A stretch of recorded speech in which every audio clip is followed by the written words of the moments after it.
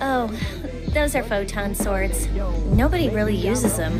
Why don't they? Well, I mean, because you can't use it unless you're close to your target. I can't be your Superman. Can't be your Superman. Can't be your Superman. Those are your fantasy game skills? I can't be your Superman. Can't be your Superman. Can't be your Superman. Your Superman. Your Superman. Not bad.